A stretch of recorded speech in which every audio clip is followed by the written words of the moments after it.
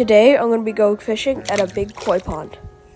I started off catching an almost one pound bluegill that I gave a good release and it sailed off nicely. I then accidentally caught this big koi that was probably around five pounds and it fought really hard. And then I accidentally caught a huge goldfish that I gave a good release. Alright, so